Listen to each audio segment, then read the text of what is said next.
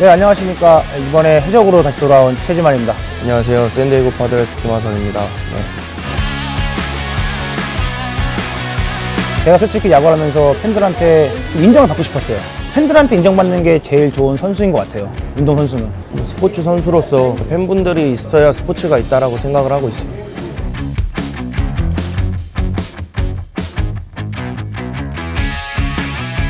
어떻게든 버텨보고 싶었어요.